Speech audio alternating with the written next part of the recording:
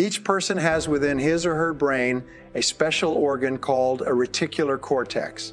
This small finger, like part of the brain, functions in a way similar to a telephone switchboard in a large office building, just as all phone calls are received by the central switchboard and then rerouted to the appropriate recipient. All incoming information to your senses is routed through your reticular cortex to the relevant part of your brain or your awareness. Your reticular cortex contains your reticular activating system. When you send a goal message to your reticular cortex, it starts to make you intensely aware and alert to people, information, and opportunities in your environment that will help you to achieve your goal. For example, imagine that you decided that you wanted a red sports car. You write this down as a goal and you begin to think about and visualize a red sports car. This process sends the message to your reticular cortex that a red sports car is now important to you. This picture immediately goes up onto your mental radar screen. From that moment onward, you will start to notice red sports cars wherever you go. You will even see them driving and turning corners several blocks away, parked in driveways and in showrooms everywhere you go. Your world will seem to be full of red sports cars. If you decided to buy a motorcycle, you would start to see motorcycles everywhere. If you decided to take a trip to Hawaii, you would begin to notice posters, advertisements, brochures, and television specials with information on Hawaiian vacations. Whatever goal message you send to your reticular cortex activates your reticular activating system to make you alert to all possibilities to make that goal a reality. If you decide to become financially independent, you will suddenly begin to notice all kinds of opportunities and possibilities around you that have to do with achieving your financial goals. You will see stories in newspapers and recognize books on the subject. Wherever you go, you will receive information and solicitations in the mail. You will find yourself in conversations about earning and investing money. It will seem as though you are surrounded by ideas and information that can be helpful to you in achieving your financial goals. On the other hand, if you do not give clear instructions to your reticular cortex and your subconscious mind, you will go through life as though you were driving in a fog. You will be largely unaware of all these opportunities and possibilities around you. You will seldom see them or notice them. It has been said that attention is the key to life. Wherever your attention goes, your life goes as well. When you decide upon a major definite purpose, you increase your level of attentiveness and become increasingly sensitive to anything in your environment that can help you achieve that goal faster. Your major definite purpose can be defined as the one goal that is the most important to you at the moment. It is usually the one goal that will help you achieve more of your other goals than anything else you can accomplish. It must have the following characteristics. One, it must be something that you personally really, really want. Your desire for this goal must be so intense that the very idea of achieving your major definite purpose excites you and makes you happy. Two, it must be clear and specific.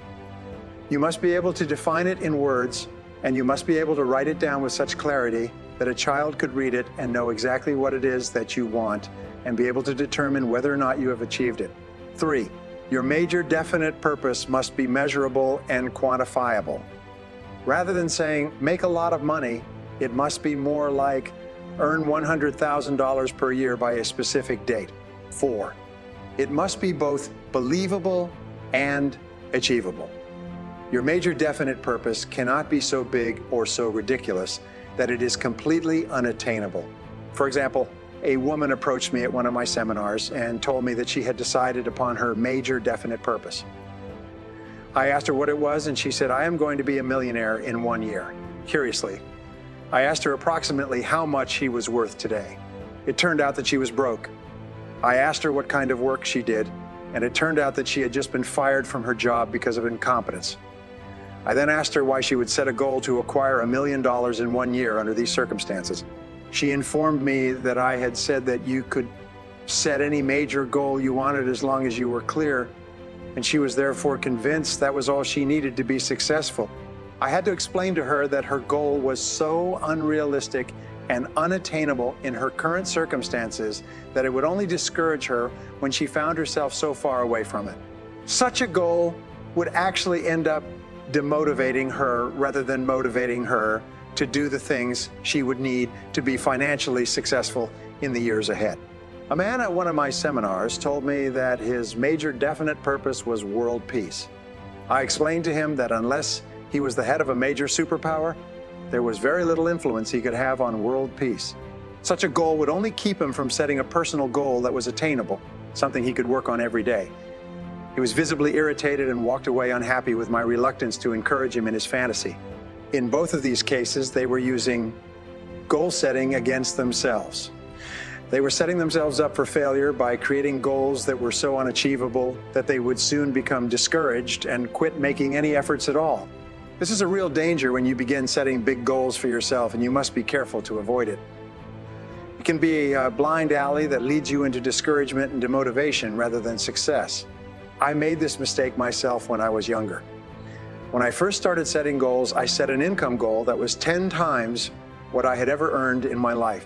After many months and no progress at all, I realized that my goal was not helping me because it was so far beyond anything that I had ever achieved. It had no motivating power. In my heart of hearts, although I wanted it, I really did not believe it was possible. And since I did not believe it was possible, my subconscious mind rejected it and my reticular cortex simply failed to function. Don't let this happen to you. Your major definite purpose should have a reasonable probability of success, perhaps 50 50 when you begin. If you have never achieved a major goal before, set a goal that has an 80% or 90% probability of success. Make it easy on yourself, at least at the beginning. Later on, you can set huge goals with very small probabilities of success, and you will still be motivated to take the steps necessary to achieve them. But in the beginning, set goals that are believable, achievable, and which have a high probability of success so that you can be assured of winning right from the start. Your major definite purpose must be in harmony with your other goals. You cannot want to be financially successful in your career on the one hand and play golf most of the time on the other. Your major goals must be in harmony with your minor goals and congruent with your values.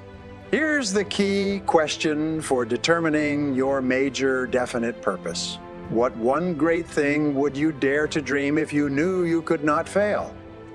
If you could be absolutely guaranteed of successfully achieving any goal, large or small, short term or long term, what one goal would it be?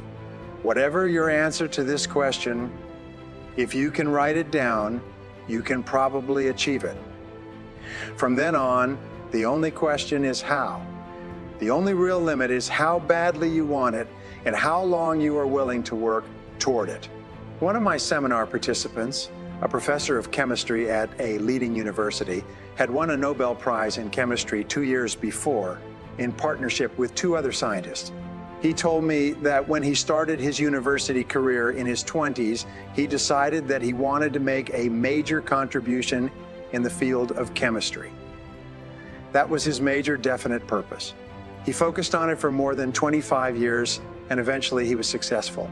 He told me I was clear from the very beginning.